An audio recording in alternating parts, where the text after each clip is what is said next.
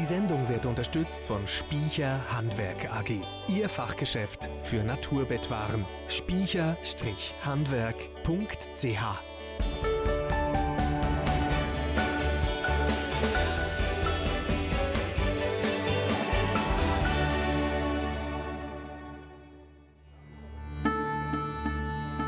Der Johnson Eliezer kommt 1956 in Südindien auf die Welt und wächst in einer erzkonservativ-christlichen Pfarrersfamilie auf. Dort sind strenge Regeln und Schläge an der Tagesordnung. Bald zieht seine Familie auf Nordindien an Gangesuhr in die Hindu- und Hippie-Hochburg Varanasi. Der Johnson prallt dort mit voller Wucht auf eine völlig andere Welt. Er bricht aus aus der strengen, einengenden Kultur von seinem Elternhaus und driftet völlig ab in ein Hippie-Leben, wo die freie Liebe und der Drogenkonsum so richtig zelebriert werden. Wieso der Johnson Eliezer mit 19 dann in die Schweiz reist, jahrelang Pfarrer im Emmental wird und heutzutage aber Modeverkäufer ist, über das alles will ich mit ihm jetzt reden. Herzlich willkommen aus dem Restaurant Sonne Schöneberg in Wengi bei Büren im Kanton Bern. Eine schöne Umgebung. Johnson, herzlich willkommen bei uns.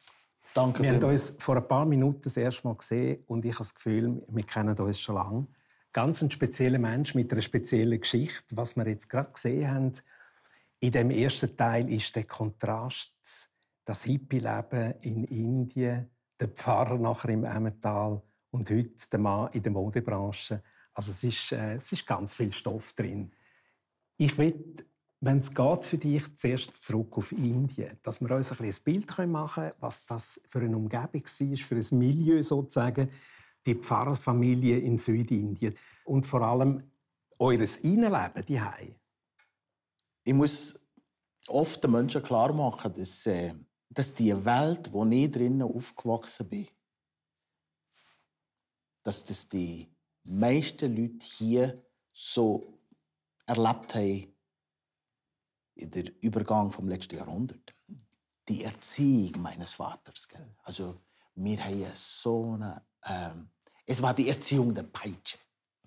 Also das heißt, wenn du, wenn du wenn du die Regeln nicht gehalten hast, hast du einfach wirklich Schläge bekommen. Und Für was hat es zum Beispiel Schläge gegeben? Ja, vielleicht hast du nicht genügend gelernt. Hast du, vielleicht hast du vergessen, das eine oder zu machen. Oder, ja. also, äh, also, aus, aus einer heutigen Sicht würde man sagen, äh, willkürlich. gell? Es ist Autorität Ja. ohne Weisheit.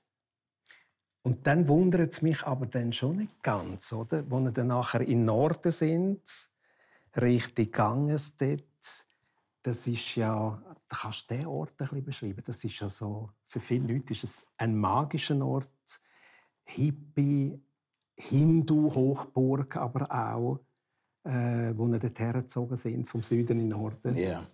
Varanasi ist so die Sehnsuchtsstadt der desillusionierten Westlers gewesen. Gell? Also die haben die Wohlstandsideal von, von ihrer Gesellschaft der Nachkriegszeit haben sie einfach gar nicht mehr können bejahen. Und so haben sie sich äh, auf den Weg gemacht, vor, also vor allem nach Varanasi, weil dort hat man einfach günstig Drogen haben. Ähm, man hat fast keine soziale Kontrolle gehabt. Und dort haben sie so ihren Traum von Frieden und Freiheit und Liebe ein Stück weit können ausleben. Also es ist es ist ähm, es ist ein Ort gsi, wo wo so eine so eine mystische Kraft hat oder für die und die Leute einfach regelrecht angezogen hat. Und das hat auch mich gepackt. Ja, natürlich. und, und Ja. ist für dich auch eine Versuchung gewesen, oder? Weil jetzt, jetzt kommst du aus so einem engen, konservativen... Äh, jedes Wort, das man braucht, trifft es und trifft es eben gleich nicht, oder? Aber jetzt kommst du in so Möglichkeiten hinein. Irgendwann steckt man dich in ein Internat, oder? Und dann ist bei dir die rebellische Phase irgendwann gekommen, oder? wenn, wenn, wenn ich das da hier nach in, die, in das Internat komme, ich in, der, in dem Dschungel von diesen schönen und starken Gielen und Mädchen, oder? Ich bin 12, 13, ich bin eher, eher schwächlich. Ich habe, ich habe angefangen, äh, Bibel zu bekommen und ich habe mich geschämt. Ich hatte so einen Minderwertigkeitskomplex. Und ich habe das Gefühl, ich bin niemand. Und, und das, hat, das hat eine Triebkraft bei mir entwickelt, dass ich ihm jeden Preis auffallen und irgendwie dazugehören. Gib ein Beispiel, wie du dort unterwegs bist, in diesem zarten Alter. Also, der Abschluss in dieser Schule. Meine Weigerung, oder? Ich, bin, ich, bin, ich will Tabubrecher werden. Für die Prüfungen, also die Schlussprüfung, eigentlich entscheidet eigentlich meine Zukunft. Ich habe für die Geometrieprüfung habe ich Kreise gezeichnet. Auf 22 Blätter. Und ich Voll provoziert. Genau. In der Literaturprüfung habe ich Geschichten geschrieben über die Schule, über meine Lehrer und ich habe eigentlich sie an Pranger gestellt. Mhm. Was das für erbärmliche Voll Gestalten Konfrontation. Ja, oder? Ich hatte das Gefühl, alles oder nichts. Du musst aus dem Markt des Lebens des, oder aus dem Knochen des Lebens Mark auszug. Also Jetzt hast du richtig alles wählen. Genau, genau. Ja, ja, das ist irgendwo sehr nachvollziehbar. Aber da außen findet natürlich auch ein Leben statt oder der hat dort stattgefunden. Und da haben es glaube ich nicht alle so gut gemeint mit dir. Mhm. Also irgendwann hast du dann auch ein Problem in gewisse Kreise hineingekommen bist, mhm. oder? Ich war immer am Ufer des Ganges. Ich habe dort einfach wirklich so ein zweites Leben gebaut. Oder? Und wo das eigentlich äh, äh, ähm, so eskaliert ist, haben meine Eltern gesagt, jetzt gehst du fort. Und dann haben sie mich in den Süden geschickt, nach Bangalore. Ich habe meine Koffer gepackt und das, was ich hatte, ich bin auf die Straße. Ich hatte einen Kollegen, mit dem bin ich in ein Haus hinein, das von Gangsters besetzt war. Und dort bin ich in die kriminelle Unterwelt von Bangalore hineingekommen. Und dort habe ich so gelebt während neun Monaten. Sie haben, ich habe erlebt, wie sie in der Nacht mit, also zwei, drei Uhr morgen, so Strassenkämpfe. Ich habe gelebt, gelebt, wie sie Frauen hergebracht haben und sechs Männer, sieben Männer sind über sie hergefallen. Also, und ich bin sechsjährig. Das darf man nie vergessen, oder? dass du dort so ein Teenie bist. Ja. Ich meine, deine Eltern die müssen ja verzweifelt sein. Äh, was machen wir jetzt mit ihm noch, oder? Es gibt einen amerikanischen Schriftsteller, der heißt Ayn Rand. Ja. Und sie hat das Buch geschrieben, The Fountainhead. Und das ist einfach so meine Bibel geworden. Und das ist, ähm, das ist, das ist eine Philosophie, die sagt, dass kein Mensch so für Drang erleben Oder, und als ich das Buch gelesen habe, da habe ich das hergenommen und dann habe ich geschrieben, geschrieben ihr seid nicht meine Eltern. Mhm. Oder, ich will, ihr habt mich zwar geboren, aber ihr habt kein Recht auf mich. Ihr lebt von mir, aber ich will nicht von euch leben. Dann ist er gekommen, mich reichen. Und dann sagt er hier, gibt er mir das Geld und sagt, hier ist das Geld. Jetzt gehst du das Billett kaufen, kommst heim mit mir. Und dann sage ich, nein, ich komme nicht. Dann sagt er, warum? Dann habe ich gesagt, ich habe eine Freundin hier und mein Leben ist hier, ich will nicht kommen. Dann hat er gesagt, ich habe drei Söhne, jetzt habe ich noch zwei. Ich wollte ihn nie mehr sehen. Was hat das mit dir gemacht? Das macht heute noch etwas mit dir, oder? Wenn du darüber redest. Mhm. Ist das, ist das einer der extremsten Schmerzen, wo, würdest du sagen, wo, wo ein Mensch erlebt? Wenn, wenn ein Vater so etwas Radikales sagt? Ja. Ja, ja. Ja, ja, ich weiß nicht, wer mein Vater war. Das ist vielleicht die Tragik von meinem Leben. Ich habe nicht gewusst, ich gewusst, wer er ist. Mhm. Er hat nie etwas gesagt über sich. Du brauchst ein Nasstüchchen. ja, sonst läuft dann noch Brüllen. Ist ja schon gut. Ja. Oder es hat kein einziges Gespräch zwischen ihm und mir. Mhm. Also, wenn, wenn Beziehung sich dann, wenn Beziehung sich auf, auf Befehl, wenn ältere Kind Beziehung sich nur auf Befehl beschränkt, und damit hat er, sich, hat er mich in einen Untergrund getrieben. Ein Ort, wo mein Leben ist konstant von der Unwahrhaftigkeit. Und du denkst, ah, jetzt, wo mich niemand sieht, kann ich machen, was ich will. Du fragst nicht, ob das stimmt oder nicht, solange dass ich machen kann, was ich will. Also du, du kommst von, von einer unbrauchbaren Erziehung, also, also Nullerziehung, in eine, in eine Hölle, wo du dann selbst schaffst. Weil du nicht anders weißt. Weil du nicht weißt, wie mit der Freiheit umgehen. Mhm. Ähm, du hast dann irgendwann in Indien eine Schweizer Frau kennengelernt, die spätere Frau. Äh, sie ist dann zurückgegangen in die Schweiz und dort bist du im College hm. und wo sie gegangen ist, hast du recht exzessiv dann weitergelebt, oder? Also ich habe da gehört, irgendwie eine halbe Flasche Gin, du kiffst, du dröhnst dich eigentlich zu permanent, oder? Ist das immer schlussendlich, ich meine, heute kann man es ein bisschen anders anschauen in der Rückschau, immer ein bisschen um diesen Schmerz gegangen? Du hast dich losgelöst von der Geschichte, von dem, wo, wo dir so als in der Kindheit ist erzählt wurde. Du bist, du bist einfach auf die Frage, was, um, was in aller Welt mache ich hier? Es ist eine höchst heftige Suche nach, nach Sinn und Ziel und wozu.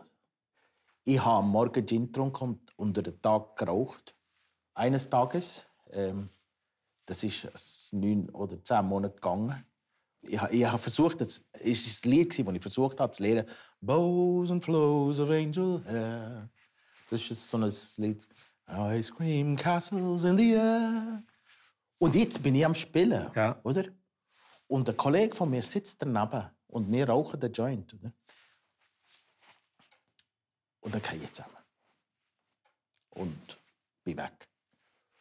Dann holen sie mich, also lüpfen sie mich, sie bringen mich ins Krankenheim. Dort tun sie mir irgendwie Spritzen geben oder ich bin weg. Und als ich erwache, habe ich halluziniert. Ich habe Stimmen gehört. Ich war suizidal. Mhm. Und äh, ich habe, ich habe nicht verstanden, was mit mir passiert ist. Sie haben mich entlassen. Ich bin heimgegangen und habe nicht mehr gewusst, was ich soll. Ich konnte nicht mehr schlafen, weil ich konstant all die äh, dunkle, also völlig also beängstigende Visionen hatte. Ich habe ein Seil gesehen, gesagt, hängt dich auf. Ich habe das Messer gesehen, gesehen Stich zu. Im Spital haben sie von einer Haschpsychose geredet. Mhm. Äh, mit allem, was dazu gehört, eben die Halluzinationen, Suizidgedanken. Dann gehst du zurück, heim. Ähm, und dann ist es wirklich so, dass du das erste Mal überhaupt konkret mit Gott geredet hast? Ich habe ja alles ausprobiert. Also, die Welt hat ja nicht unendlich viele Weltanschauungen, die sie zur Verfügung stellt. Also ich habe sozusagen so ein bisschen, bin ich damals, was so in war, durchmarschiert. Und jetzt bin ich in einer Sackgasse. Was ich nicht probiert habe, ist das Christentum. Obwohl du so aufgewachsen bist, Genau. Mhm. Weil ich das Gefühl hatte, das ist altmodisch, das ist antiquiert, das ist für vorgestern, das ist, für, das ist eng und äh, das ist ein Korsett. Mhm. Aber ich habe mir ein einziges besinnen und das ist, dass Jesus geheilt hat. Und dann habe ich gesagt, das ist so wie ein Stoßgebet gewesen, habe ich gesagt, Jesus, wenn es dich gegeben hat und wenn du geheilt hast, du mich heilen. Das ist, der, das ist so die Initialsünde von dieser unheimlichen Reise in die Gesundheit.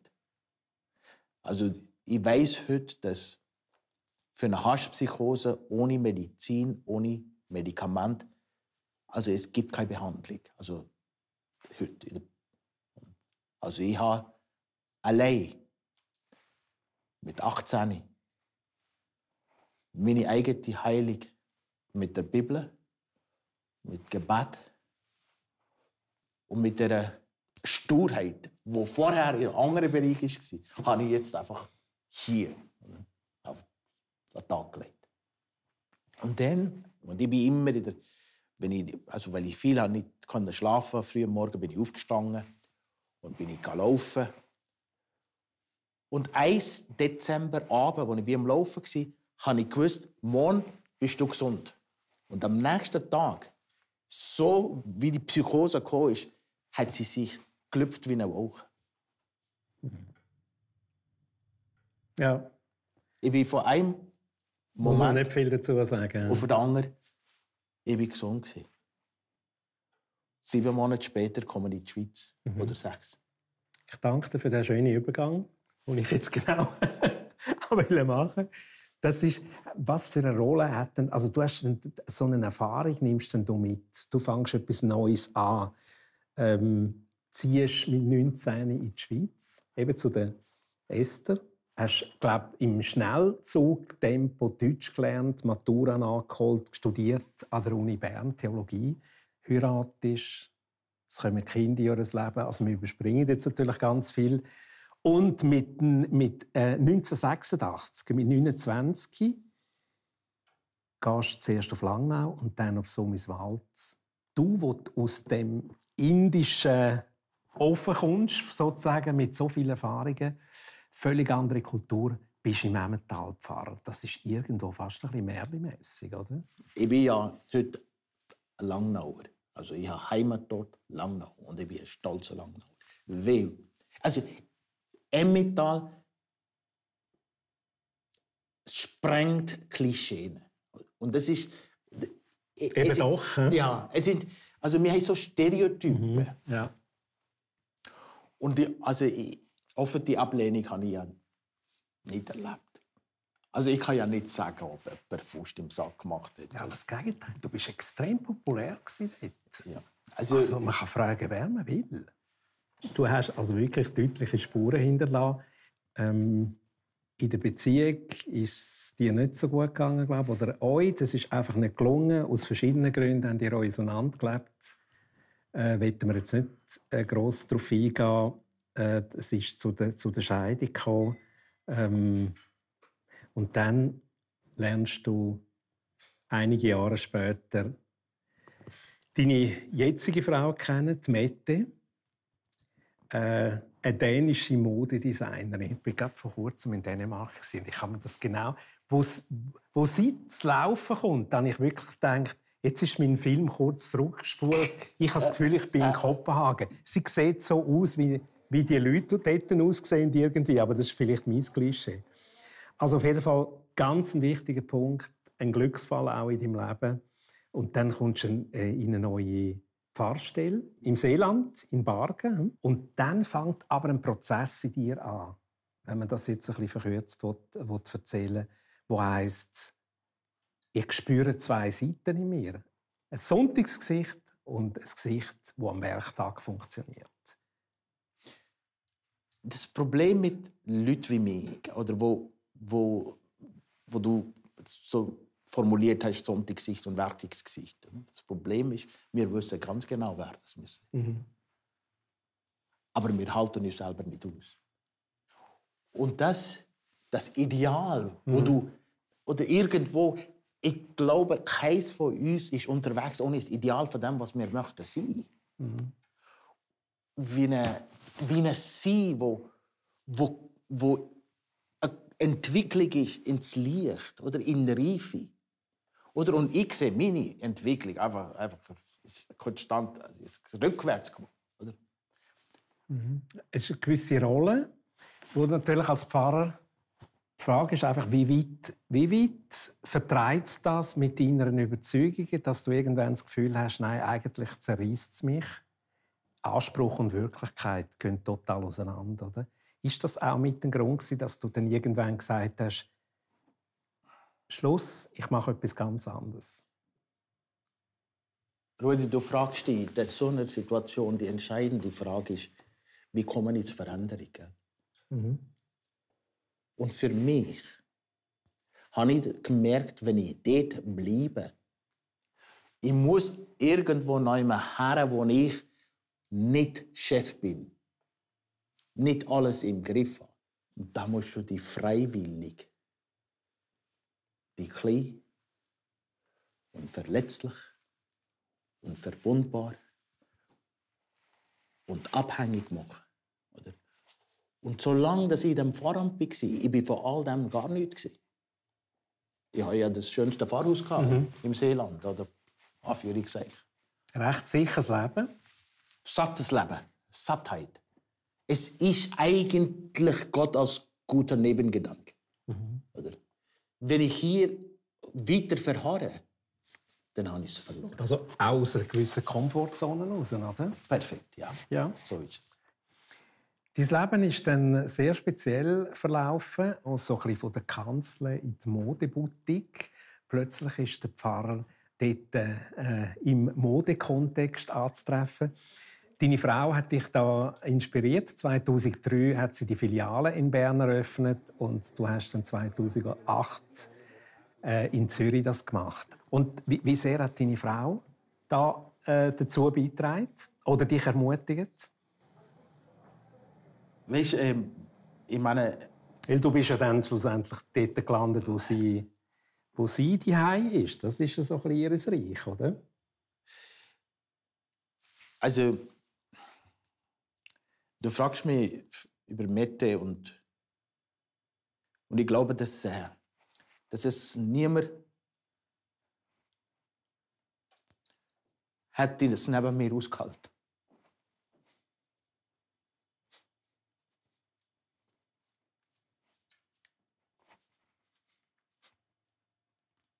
Was sie durchgehalten. Finde ich natürlich unglaublich wertschätzend von dir auch.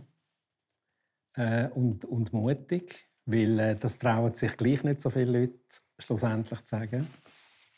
Und nachher habe ich zu ihr gesagt, wir haben so und so viel. Das ist die Möglichkeit, also finanziell. Was sagst du dazu, dass wir, dass ich, dass wir ein Geschäft suchen in Zürich und die ein CBH Zürich aufbauen? Das ist ein recht Vertrauensschritt, oder? Ja. Yeah. Mhm. Da kommst du, da bin ich auf die Welt gekommen. Gell? Es gibt eine Wüste Zürich. Mhm. Das ist knallhart, oder? Ja, knallhart. Und dann hat, haben wir dort angefangen. Und ich habe das Geschäft von 2008 bis 2017 fast allein aufgebaut. 2017 passiert dann einfach das völlig unerwartet, völlig einfach das haben wir die Welt nicht mehr verstanden. Oder wir haben, es ist immer so gegangen. Und dann plötzlich jeden Monat haben wir 10.000 Franken weniger in der Kasse. Genau 10.000 Franken. Dann habe ich schier verzweifelt. Dann habe ich gesagt, Herr, was ist denn das gewesen? Was ist das jetzt gut gewesen? Mhm. Oder? Du hast ja genau so Situationen ein bisschen ausprobieren, fast, hat jetzt gesagt. Ja. Und jetzt kommt das. Oder, für was? Für in aller Welt, was, was ist denn... Ja klar, ich habe, ich habe mich verändert, ich habe mich auf den Weg gemacht, ich habe gelernt, oder? Und, ich, und dann haben Mette und wir haben nächtelang darüber geredet und gesagt, was, was wird hier, was ist das für ein verborgener Gott? Völlig unverständlich. Allzu, allzu verborgen, Mensch. Ja, Irgendwo und unverständlich. Ja. Mhm. Und darum äh, haben wir dann einfach gesagt, okay, Zelt abbrechen, schauen, dass wir irgendwie das Bern weitermachen. Und jetzt kommt das. Hm? Ich höre, dass ein Lokal frei wird im Hotel Helmhaus oder Schifflenti. Das ist kein schlechter Standort. Ja. Ja, wirklich. Wenn man Zürich kennt. Ja. Die, die Zürich kennen, wissen, ja. was das heißt. Ja. Lange Geschichte, kurzer Sinn. Wir kommen zu dem Standort zu dem, mit so einer Miete wo ein Win-Win ist für alle. Für sie, für uns. Es ist einer der schönsten Standorte. Und dann denkst du, hey, also. Ist doch nicht ganz so verborgen. Gleich nicht, he? Spannend. Es, äh, aber eben, der ganze Zwischenweg, der so schmerzhaft ist und voll von Fragen, den kann man jetzt nur ein bisschen ahnen, oder? We weißt, in dieser Zeit, es gibt ein, so, einen, so einen kleinen Spruch, ich lese die Bibel viel auf Englisch. In dieser Zeit habe ich einfach ein, die, die fünf Worte oder was? Vier Worte. Be still and know that I am God. Sei stille und weiß, wisse, dass ich der Herr bin. Was ist denn das? Das heißt, es gibt eine Haltung in dir, wo du übergehst von dem Sorgen und Werken und Tun und Machen, wo du stille lässt, weil ein anderer im Griff hat, ein anderer am Werk ist. Und du lässt das, das bin ich am Lehren. Dort hast du wie auch äh, das einfach können weiterleben was, was, du, was du ausstrahlst. Auch. Du bist ein Mensch, der kommunikativ ist, der zugänglich ist. Passiert dir, glaube ich, immer wieder, dass Leute zu dir kommen und, und dann sich spontan Gespräche geben, die weit über die Kleiderwelt rausgehen? Ja, das, ähm, das ist es so. In den Laden kommen Leute, die auf die nicht nur ein Bedürfnis haben nach Kleidern, sie haben wenn sie, wenn sie so etwas Intimes kaufen wie Kleider, ähm, dann, dann kommt man ihnen sehr nach. Bei uns versuchen wir, und ich tue das jetzt einfach in diesem frommen Jargon, die Liebe Gottes zu den Menschen auch irgendwo und zu leben. Aber es ist ja nicht einfach. Man, man hat nicht alle Menschen gleich Und man hat nicht, nicht. alle Menschen gleich ah.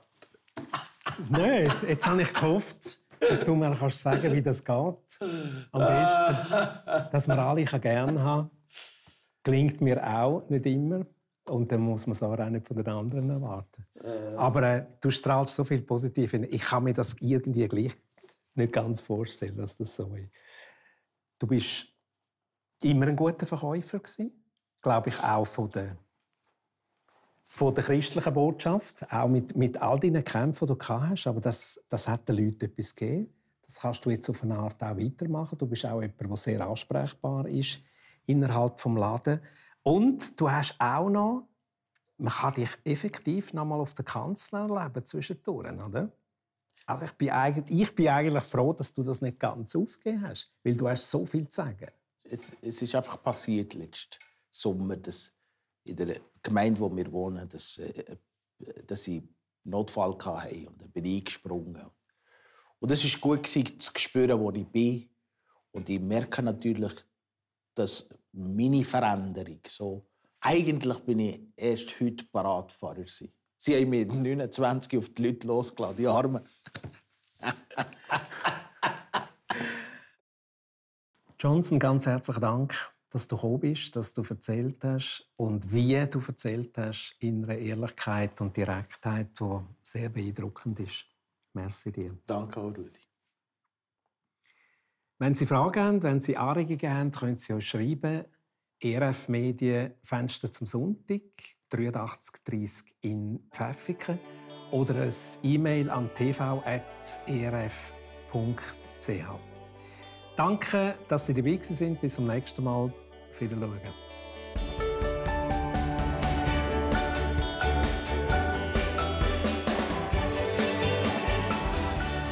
Sendung wurde unterstützt von Spiecher Handwerk AG, Ihr Fachgeschäft für Naturbettwaren. Spiecher-Handwerk.ch